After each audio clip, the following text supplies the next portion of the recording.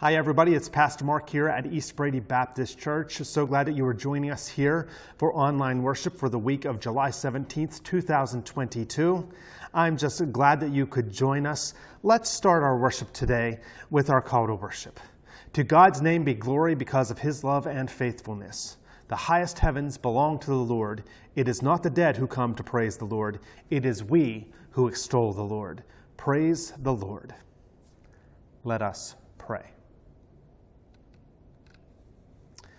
Have mercy on me, O God, according to your unfailing love. According to your great compassion, blot out my transgressions. Wash away all my iniquity and cleanse me from my sin. Create in me a pure heart, O God, and renew a steadfast spirit within me. Do not cast me from your presence or take your Holy Spirit from me. Restore to me the joy of your salvation. Grant me a willing spirit to sustain me. My sacrifice, O God, is a broken spirit, a broken and contrite heart. We pray these things in Christ's name. Amen.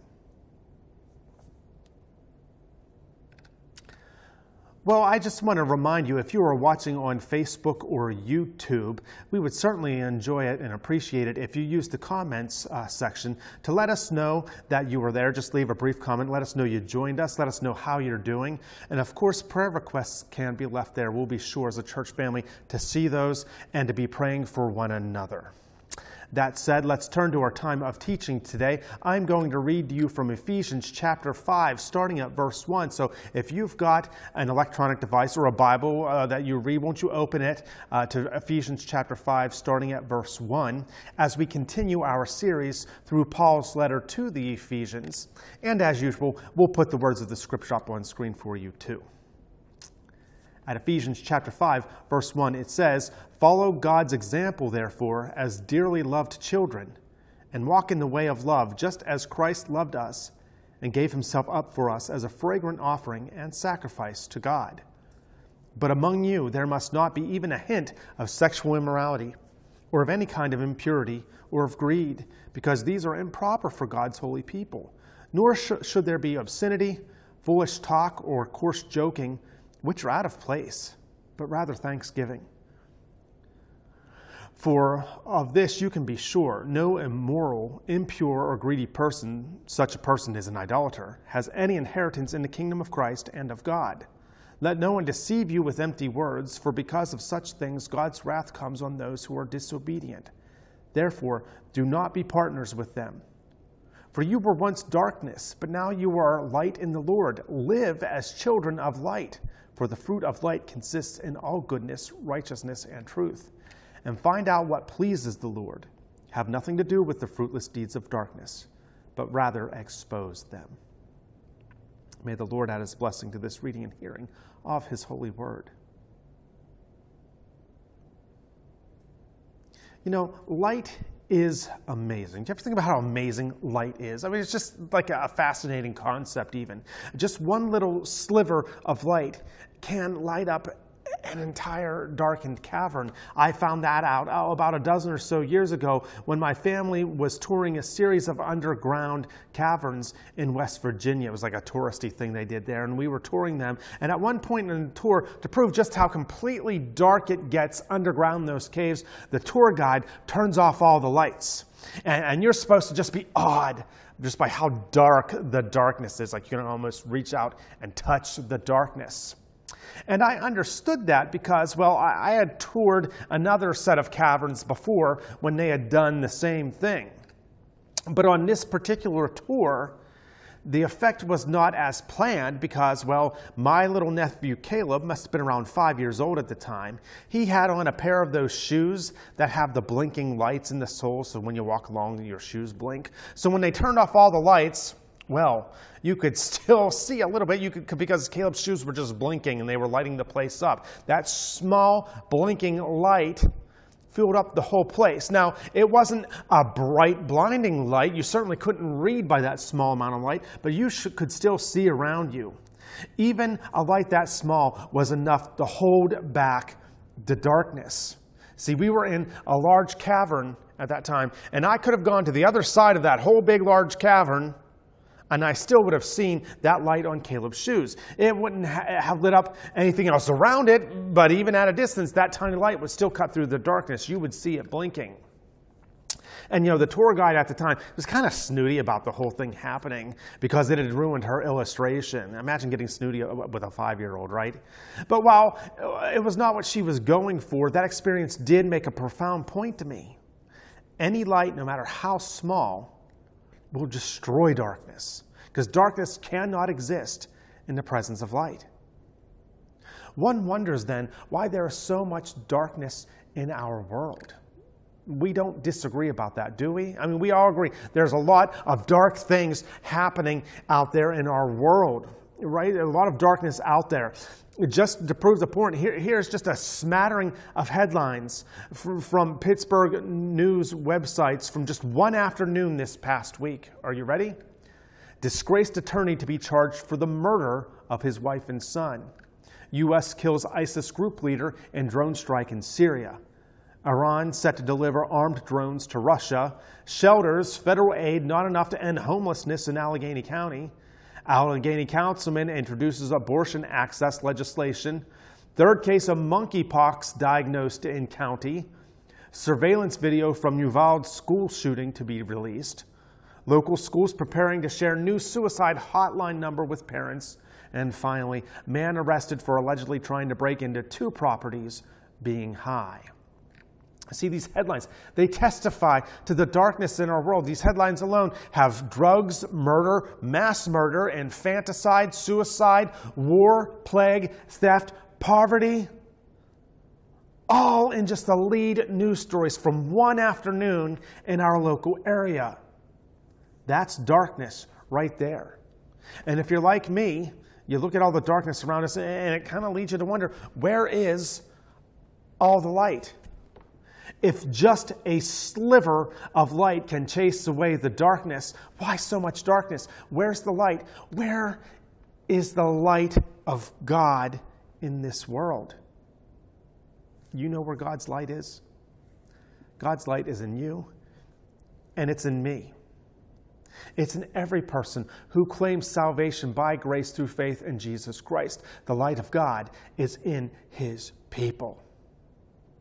In our passage in Ephesians chapter 5 today, Paul writes that those who follow Jesus are now children of light. And he indicates that one of God's primary methods for bringing his light into this world's darkness is to shine it through us, his children of light. Look in Ephesians 5, verse 8, Paul writes, For you were once darkness, but now you are light in the Lord. Live as children of light. See, Paul reminds us hey, you were once part of all the darkness in the world. You were once purveyors of the dark. You were once part of that system that was just creating more and more darkness. But he pretty much says here, uh, not anymore. He tells us, now you are light in the Lord. The Lord, Christ, has brought you out of darkness to be his light. So he tells us now live as children of light. Live so that the light of Christ shines in you. Live so that the light of Christ shines through you into the world, destroying the darkness that is there. You know why there is so much darkness in the world today? Because followers of Jesus are not living as children of light. We're not shining our light out there. We're too busy chasing after too many other things, making life about everything other than living in the light and, and for the light. And so the darkness, it just reigns, and we just let it because we're not like letting the light of Christ come through us. You want to see the darkness uh, in the world around you defeated? Then live as children of light. That's what Paul's saying here. And then he gives us another list, just another list to illustrate for us what it means to live as children of the light. These are things we don't do or stop doing, and then there are things we do instead. And a lot of times, people look at lists like this in the Bible and they make the mistake of thinking, oh, oh that's just, well, that's what Christianity, that's what church is just all about, just following a list of rules. Do this, do this, don't do that, so you can think you're a good person, so you can think you're better than everybody else. That's not why Paul gives us this list. That's not why he wants us to live this way. It's not just a legalistic recipe for being better than everybody else or for being good enough. Paul says, Live like this so that the light of Christ in you by faith shines through you to defeat the darkness in the world. That's why we do these things. That's why we live this way. So, what does Paul say we do and what we don't do to live as children of the light? Well, first this week, let's look at what we don't do. And then maybe, well, maybe we'll get to some of what we actually do do next week. But hey, what don't we do? Simply put, don't be impure. We do away with every form of impurity, get rid of anything that makes us impure before God. That's what Paul's writing about in verse 3 when, when he says, But among you there must not be even a hint of sexual immorality or of any kind of impurity or of greed, because these are improper for God's holy people. Paul writes that there must not even be a hint of any kind of impurity in us. It's just not proper for God's people, he says. God's holy people. You know, that He calls us holy. That means we are set apart for God's purpose and glory. We are made different for God's purpose and glory. See, we cannot be set apart. We can't be different for God if our lives are still the same as everyone around us, if we have all the same impurities going on in our lives still as everybody else in the world. So Paul says you, you need to be set aside for God to be holy. You need uh, to get rid of impurity. And, and when he wrote of impurities, the people of his day would have recognized right on the connection he was making to gold smelting or the smelting of other metals. You see, when gold is dug out of the ground, it, eh, the actual gold is kind of intermixed with all sorts of other metals and materials as one big, ugly rock. Take a look at this picture. Uh, the inset there is a picture of gold ore. It's not shiny, it's not sparkly, it's not pretty, it's not gleaming, uh, or anything like that. It's just ugly. Who would want that? Who wants to wear that in a ring around their finger? So what happens is gold is refined in the smelting process. The ore, uh, the rock, it's just heated up really, really, really, really hot to the point where it melts. And because the gold is heavier than all the other stuff that it's in there with, the other stuff, the impure stuff called dross, it floats to the top or it rests on top of the heavier gold. So then they can just come and they can uh, just scrape off the impure stuff or they can pour off the impure stuff so that what is left is the pure, shiny, valuable gold. See, the impurities were getting in the way of that gold sparkle, its luster, its shininess, its light. So they get rid of all the impurities so that the light can shine through. That's what Paul is telling his readers to do. Get rid of the impurities, scrape away the nastiness in your life so God's light can shine through you. It's your holy purpose. See, when we have impurities in our lives, they actually block God's light from shining through us. And that way, they're kind of like clouds on what would otherwise be a sunny day. You know, it must have been about a month ago. I was out, and you guessed it, I was mowing on my tractor on a sunny evening. You know, it was evening, but hey, still plenty of time left before sundown. So I'm just mowing along, driving along my tractor, and I realized suddenly it had gotten really, really dim without me noticing in just like a period of like just like two minutes, right? Just these dark storm clouds, these heavy dark storm clouds, they had just kind of moved in, were all through the sky, all but blocking out the sun's light you couldn't see the light coming through the clouds. So, so hey, I knew, hey, this is bad. So I, I drew that tractor as fast as I could back to the shed, uh, put it away, I got things closed up, and ran down to my house. No sooner stepped foot on my back porch under the roof when the heavens just opened up in this fierce downpour. It was like uh, just a, a, crazy series of events. But, but I knew I had to get in because darkness. You know why it was dark? Because those clouds had rolled in. The light couldn't get through the clouds, couldn't get through what was blocking it. Our impurities are like that. The light of Christ can't shine through. So it's like Paul is saying here don't let the impurities in your life block God's light from shining through the darkness in this world. Get rid of the impurities. Scrape them out of your life so God's uh, light shines through you into all the darkness. And so Paul gives us some guidance on just some of the uh, impurities we need to get rid of. The list here is not exhaustive, but he does give us some things. He writes, There not, must not be even a hint of sexual immorality. Oh, so much of the impurity in our life comes from sexual immorality. Now, we could spend a lot of time and a lot of effort defining what sexual immorality really is and how the Bible defines that. In a society that is mostly failing at understanding godly sexual morality, perhaps that's even necessary at times. But to be concise for our purposes today, Sexual immorality is sexual relations or activity in any context other than between a husband and a wife. That includes relations if you are not married, or even if you are not yet married, you're saying, oh, we're going to get married. Nope. That includes relations with someone else while you are married who isn't your spouse. That includes relations in the context that God has made clear are not holy, such as homosexuality and pedophilia. That briefly is what the understanding of sexual immorality would have been in the first century church. That's what Paul would have meant when he wrote uh, not even a hint of sexual immorality. So that's how we define it too. We don't change the definition to get around what Paul is teaching here. So he says here, there mustn't be a hint of it. There mustn't even be a hint of sexual immorality in your life. And you know why he says not even a hint? He says not even a hint because it can't be just a hint. Human sexual appetites, which God created for good purposes within the right context, they are so powerful that they don't stop at a hint, at just a taste. You open a door, a crack to sexual immorality, and that sexual appetite, it's just going to uh, barge the whole door down, right? Just bust through the whole place. Most of the time, when a follower of Jesus falls to sexual immorality, it's not just happening all of a sudden, all at once. It happens because at some point he or she opened the door just a crack, allowed just the smallest hint. And little by little, it all poured in like a landslide until you're caught up in it. So Paul warns us not to mess with it at all, not even a hint of sexual immorality. He, he goes on in verse 3 to say, uh, you know, more impurity, not even a hint of greed. Greed is one of these impurities he speaks of.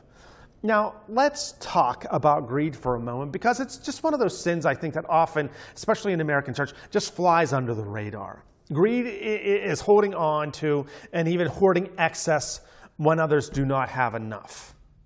Most people think greed is a sin that others need to be watched for and others have an issue with. It's a sin of the rich. And the Bible gives lots of warnings about what will happen to the rich if they are greedy and they don't share their uh, wealth to help the poor. So it's a rich people's sin.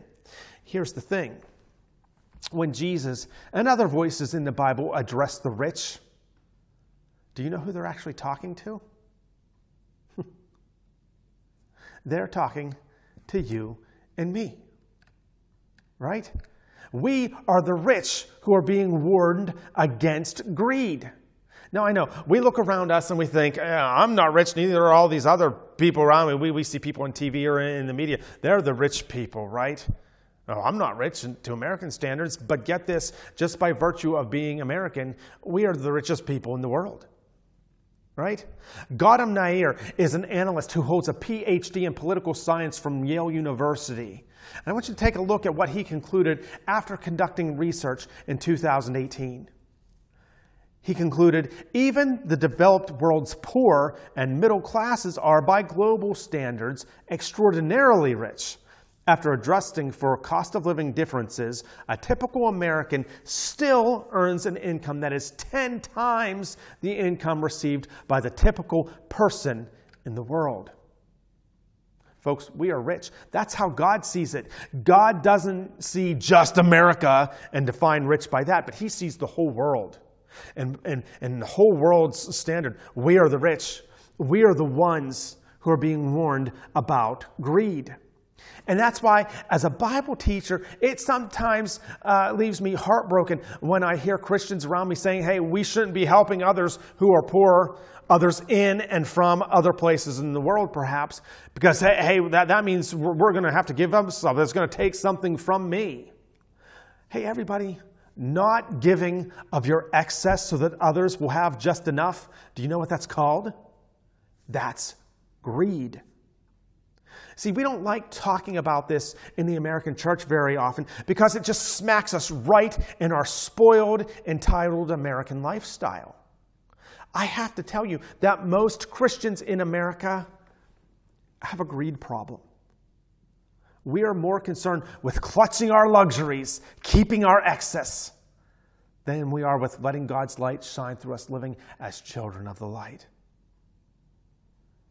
See, we can disagree about what and how collectively we as a nation should be doing to share our wealth and how much of it we should be sharing. We can disagree with that. But if you find yourself responding to that discussion, even inwardly by thinking or saying, hey, that's, that's going to take from me, there's not going to be as much for me, you need to be warned. You, as one of the world's rich, very well may be under the sway of greed. And you may be allowing its impurity to block Christ's light from coming into the world. So the darkness continues. You are the rich. You should be letting God's light shine into this world by sharing your wealth, your excess. And we all have excess. Paul says, get rid of every impurity, not even a hint. And then he writes that, that doing that means we get rid of vulgar talk. You see, he goes on in verse 4. He writes, Nor should there be obscenity, foolish talk, or coarse joking, which are out of place, but rather thanksgiving. See, here's the thing. In chapter 4, we looked at Paul's teaching about putting off slander and unwholesome talk, right? Not, not, not, not talking about other people because that hurts them. And then earlier in this sermon, we looked at his directive to do away with sexual immorality. You got two sides of the spectrum, right?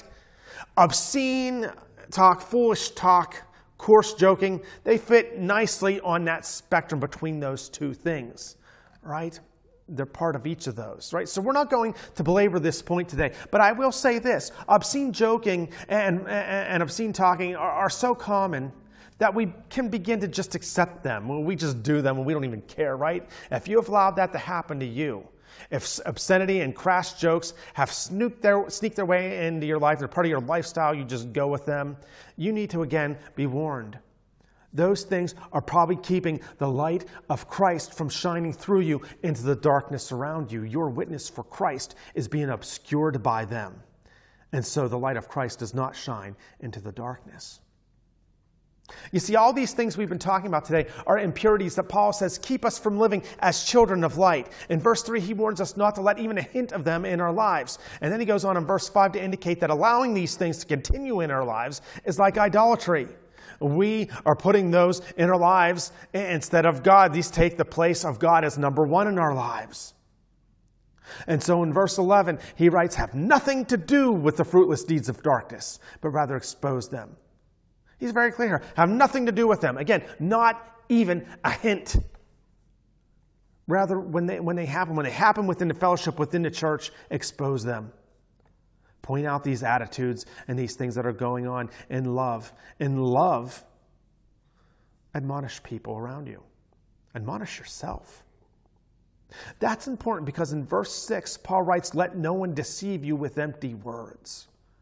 See, sadly, there will be some within the church who desire to be disobedient to God in these things for their own reasons. They just want them to still be part of their lives. They don't want to submit their lives to God in these things. And so then they will try to convince you that these things aren't that bad. You should be for them. You should just go along with these things. They'll say sexual immorality. Well, it's not sexual immorality anymore. Times are different. Redefine that. Now, remember talking about these things once someone said to me, Oh, it's not like that anymore. It's the 90s. It was back in the 90s, but I still remember that. People say, Oh, oh, times have changed. It's not a sin anymore. Or they'll say, It doesn't really hurt anybody if your conversation gets a little rowdy or, or off color, as long as everybody right there is okay with it.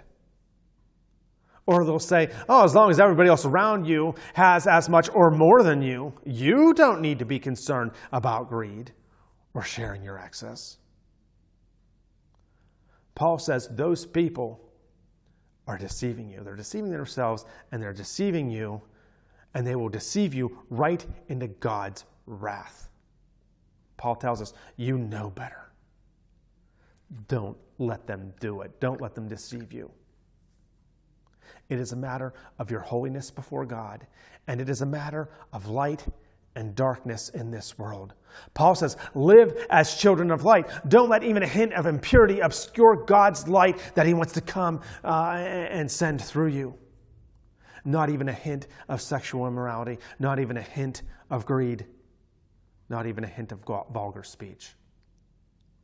Be free of it, Paul says, so God's light can live in and shine through you, that this dark world would know God's light. You want to see darkness defeated? Let God's light shine through you. Not even a hint of impurity. Let us pray. Dear God, our Heavenly Father, we do thank you so much for giving us Jesus Christ, for making us pure when our sin had made us impure. God, as your children, uh, we sometimes struggle uh, to live as those pure people you have made us to be in Jesus. And so we kind of welcome impure things into us, God. But we recognize in, in this time that uh, when we allow those things in our lives, what we are doing is keeping your light from shining into this world. We are keeping your love from, from healing people. We are keeping your will from being done. So, God, forgive us. Forgive us when we allow or we bring these impure things into our lives and into our hearts. God, I pray uh, for myself and for all who, who, who, are listening or praying this with me. We pray uh, that you help us, you, you empower us, God, to live the life apart, wholly for you. God, may we let not even a hint of sexual immorality or greed or obscenity in our lives, but let us fill up our lives instead with things for you. And we pray in the name of your Son, Jesus Christ. Amen. Well, now's the point in the service where, if you were at our in person service, we would turn our attention to the collection of your tithes and our offerings. So we give you that opportunity here as well uh, to worship God through giving. And I just want to say, if you are not a regularly part of East Brady Baptist Church, you just kind of found us online today or you know, aren't with us regularly, we are not asking anything of you during this portion at all. Oh, this is just an opportunity for those who are regularly part of our congregation to continue to, to, to, worship God through giving to support our ministry here. And so, if that's you, you can send your tithes and your offerings to us at East Brady Baptist Church, 508 Kelly's Way, East Brady, Pennsylvania, 16028. And we are blessed to always hear from you. Well, that's the end of our worship service today. We are going to conclude in a moment by singing the hymn, The Solid Rock. But first, won't you receive the blessing? May the grace of Christ our Savior, the love of God, and the fellowship of the Holy Spirit be with you today and always. Amen.